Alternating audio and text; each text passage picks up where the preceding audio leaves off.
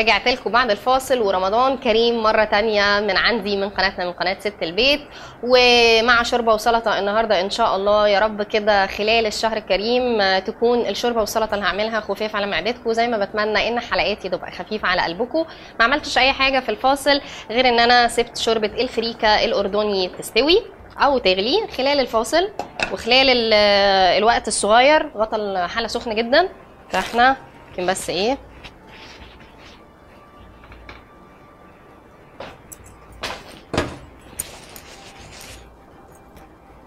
هغرف الشوربة على طول علشان نبتدي في طبق السلطة. يعني أنا بحس إن السلطة والشوربة آخر حاجة بتتعمل يعني بعد ما الناس بقى تقف تعمل الفطار وتقعد تفكر هنعمل إيه على الفطار والكلام ده كله.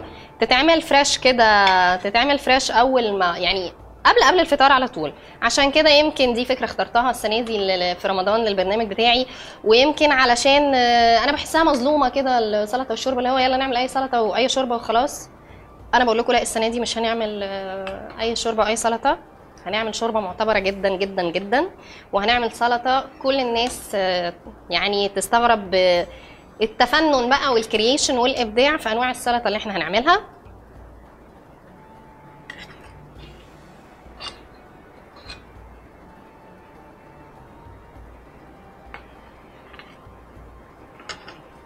وآدي آه، اللهم إني صايمه يعني بس ريحتها حلوة قوي. آدي شوربة آه، الفريكة الأردني. نحط بس عليها كده إيه حاجات كده تبقى شكلها حلو. ألوان تفتح النفس. أنا دايما لسه عند مبدئي اللي مش هغيره. العين بتاكل قبل ما البق بيدوق. ف آه، افتحي نفس عيلتك ونفس ضيوفك. يعني إحنا رمضان بنتلم كده ونعزم الناس ونعزم الجيران ونعزم الأهالي ونحاول على قد ما نقدر إن بيتنا ما يبقاش فاضي ولا سفرتنا تبقى فاضية كده خلال الشهر كله من المعزومين أو من الضيوف أو من أهل البيت وكمان من آه، الأطباق المتنوعة اللي إحنا بنعملها خلال الشهر الكريم. آه، دلعي آه، طبق الشوربة بتاعك وهندلع كمان أطباق السلطة عشان تطلع شكلها حلو قوي علشان نفتح يعني كده نظرة العين كده تحب الأكل كده قبل ما إن شاء الله البق يدوق كمان ويحب الشوربة اللي إحنا هنعملها. تعالي نشوف هنعمل سلطة إيه بس نخلي ده على جنب. إيه ده؟ هسيب الشوربة وهبتدي أنا كنت أصلي اغطي حلة الشوربة بالغطا بتاع البولة. هنبتدي على طول نشوف هنعمل السلطة بتاعتنا. هنعمل سلطة فتوش أردني. الفتوش الأردني الفتوش لبناني وسوري وأردني وشامي من كل حتة في الدنيا. أنا النهارده هعمله بمقادير مصرية بس على الطريقة الأردنية بإمكانياتي المتاحه في مطبخي. آه، عندي خيار مقشر وعندي طماطم ليمون وعندي نعناع أخضر وعندي التوابل بتاعتي هتبقى سماق وزيت زيتون وملح وعندي توم مفروم وعندي بصل متقطع جوليان وعندي المكون الأساسي البقدونس. السلطه ما فيهاش أي حاجة خالص غير إن أنا بس هقطع. هي الفتوش آه، بيبقى عايز يتقطع آه، حتت صغيرة يعني كل القطع بتاعته صغيرة. في بلاد بيعملوه من غير خيار بس أنا عايزة أدخل على قد ما أقدر آه، خضار في السلطة. وخضار موجود حاجة عادية يعني مش اختراع مش عشان قلنا من الأردن يعني فالمكونات مش موجودة. الخيار فيه نسبة مية كويسة قوي. أنا عايزه على قد ما أقدر احاول على نسبه الميه اللي موجوده. ده بصراحه هدفي يعني وده تقريبا اللي كل اللي بيصوموا يعني بيحاولوا يقدروا عليه يعني. آه، نسبة المية مش بس بشرب المية الكتير يعني بعد ما نفطر نقعد نقربع مية لغاية السحور. لا مش ده الصح تماما. اشربوا مية بعد الفطار بالراحة واحدة واحدة. المية مش هتروح في حتة قدامنا ساعات آه، طويلة. آه، اشربي الشوربة وكلي السلطة وقومي صلي مثلا وبعدين ابتدي في الأكل بتاعك. علشان الجسم يبقى يعني المعدة تشتغل ما ندخلش عليها كده بالتتار على طول المشويات والمحمرات والبشاميلات والكلام ده.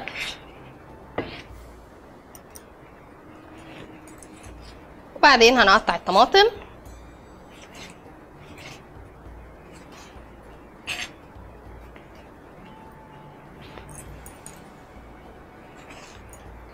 يعني الخضار اللي في السلطة فيه مية الخضار اللي في السلطة فيه فيتامين فوائدها كتير جدا جدا جدا. آه، عايزينه مش بس يبقى طبق أساسي في الأيام العادية طبق أساسي يا ريت في رمضان. مش هنزهق منه لأن إن شاء الله كمان معايا زي ما بقول لك يعني من كل الدنيا حاول على قد ما أقدر أجيب لك طرق مختلفة. آه، مش هنزهق منه مش علشان آه، إحنا بناكله بس عشان فوائد وعلشان لازم في رمضان نعوض بيه. لأ علشان استمتاع الأكل استمتاع. الأكل اعمليه بحب.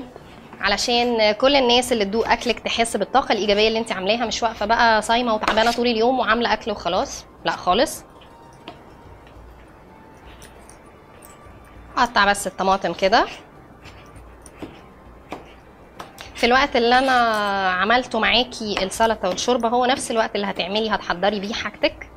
يعني آه، أنا بالنسبة لي بحس وأنا قاعدة كده بنعمل الحاجة لايف بمصداقيه كده ما بيني وما بين الناس اللي بكلمهم اللي هي أمي وأختي واصحابي وعيلتي وجدتي وجيراني. فبحس إن إحنا كده أنا مش غريبة يعني في الموضوع. إيه اللي هعمله دلوقتي؟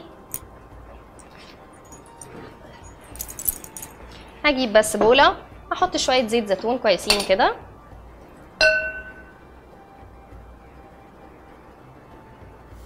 ادي زيت زيتون. أنا ده مش محتاجاه خالص.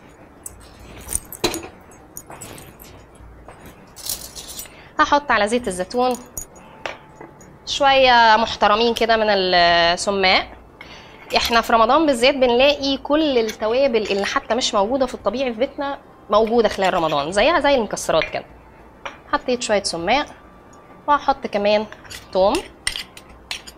في نعناع في نعناع وفي بقدونس فما تخافيش من التوم. يعني أنا بحاول أعمل معادلة كده في طبق السلطة.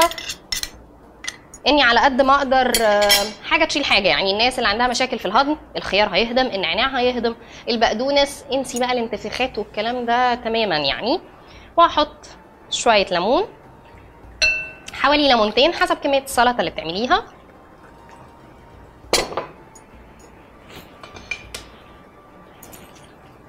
ضربة خفيفة بس كده.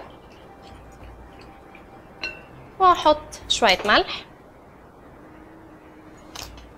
شوية ملح بساط لأن في ليمون ممكن تستغني عن الملح خالص. وهنحط شوية فلفل.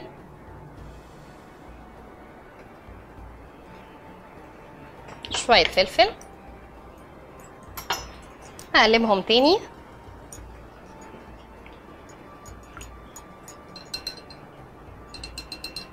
واللي هعمله أنا عايزة أحط البصل بس ياخد لون كده.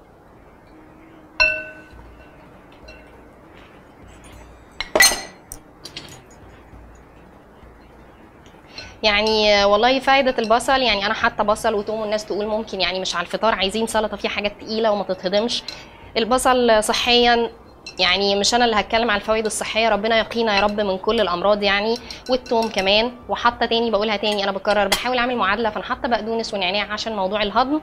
اللي هعمله دلوقتي آه نعمل إيه؟ عايزين آه بولة كبيرة. أو البولة اللي هنقدم فيها على طول أنا عاملة عيش مملح أو بولة عيش مملح عملتها قبل كده معاكم آه، كل 2 كيلو دقيق بياخدوا حوالي آه، كيلو وربع ملح. يعني انت حسب الكمية اللي هتعمليها وشوية مية العجينة بتشكليها على أي حلة. في يوم من الأيام نعملها إن شاء الله خلال رمضان على ظهر الحلة وتحطيها في الفرن. شكلها حلو والعيش ده بيتاكل فطعمه حلو وما فيهوش تكاليف. وغيرتي كمان من شكل تقديم الحاجة اللي انت متعودة ان انت بتقدميها. أحط بس الخيار والطماطم. مش محتاجة دول. وبعدين هنزل على طول بالبقدونس المفروم.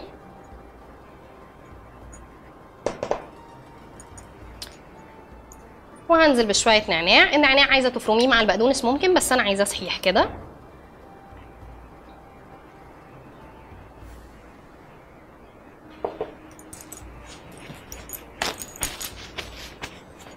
أحاول بس اخلط دول مع بعض. شفتوا اللون حلو إزاي؟ يعني اللون حاجة تفتح النفس من غير لسه ما أزود باقي آه، المكونات بتاعة السلطة. إحنا ممكن نزود كمان شوية بقدونس.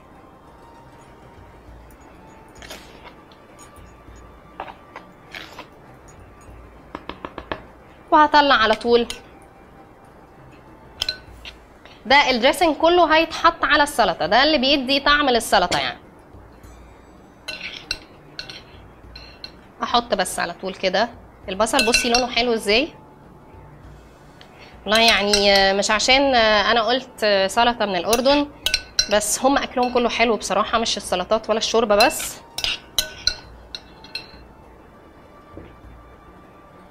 يعني ألوان حلوة وطعم حلو وتوابل خفيفة وأنا أضمن لك إن انت هتكسري صيامك بطبق شوربة من عندي من ست البيت وبطبق سلطة معتبرين كل يوم إن شاء الله خلال الشهر خلال الشهر الكريم بإذن ربنا وينعاد ينعاد علينا وعليكم دايما يا رب كده.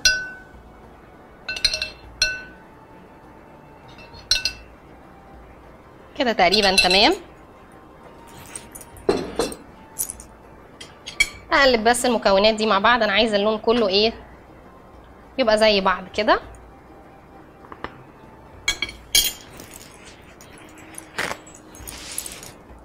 وتعالي نشوف بقى إيه هنقدم آه، اطباقنا. النهارده مش اطباق عاديه بالنسبة لي أنا بقولك أنا مش محتاجه البلانش خالص. دول آه، الطبقين المعزومين الأساسيين على سفرتنا السنة دي. ونجيب كده حاجة شكلها شيك عشان نقدم أكلها علي... أكلنا عليها. مش محتاجين ده دلوقتي خالص ممكن نحطهم هنا.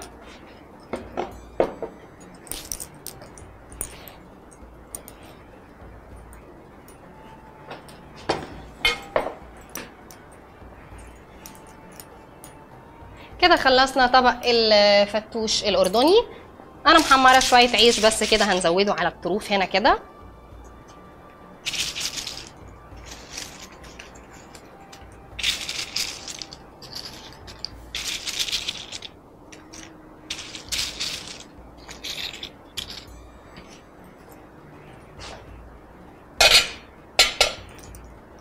ممكن كمان ناخد ورقتين النعناع دول نحطهم كده إيه لون يعني في النص ونجيب الشوربة بتاعتنا شوربة الفريكه الأردنية.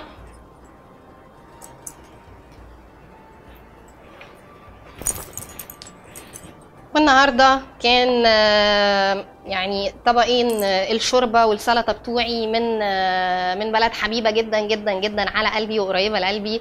ليا أصحاب كتير قوي فيها ويمكن واخدة لمسات كده من أكلهم ورأيهم النهارده كمان يهمني جدا. في طبق شوربة الفريكة الأردني وطبق سلطة الفتوش الأردني من مصر من ست البيت من قناتنا قناة ست البيت المصرية. بعيد بمناسبة رمضان أو بقول لكل العرب لكل المسلمين لأهلي وأهل زمايلي في الاستوديو كل سنة وأنتم طيبين ورمضان كريم وينعاد علينا دايما إن شاء الله يا رب بألف خير. في حلقة جديدة استنوني دايما هنكسر صيامنا مع بعض إن شاء الله بالشوربة والسلطة. آه، من عندي من هنا من مطبخي وكل سنة وأنتم بألف خير وصحة وسلامة يا رب.